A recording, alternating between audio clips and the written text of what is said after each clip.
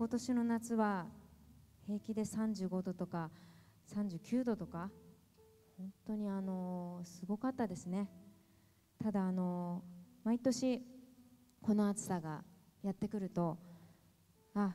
そろそろ8月20日が来るなとなんかそんな風にあの感じます。本当に1年って長いようですけどあっという間で、まあ、なんだかんだいろいろあったけどもまたこの日にこうみんなで集まって同じ時間を過ごして少しでも元気になって笑顔になってもらえたらなってなんかそんな日にずっとずっとしていくのが今の私の夢というか目標かもしれないですね。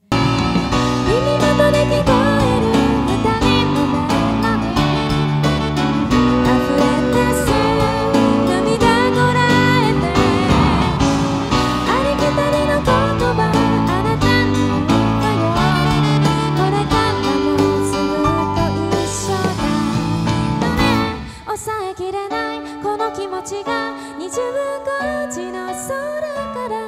光る雫として降り注いだ気がついたら心の中優しい風が吹いて明日への扉そっと開く言葉が今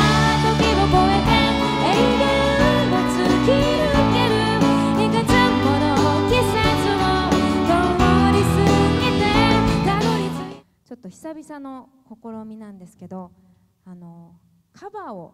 やってみたいなと思います。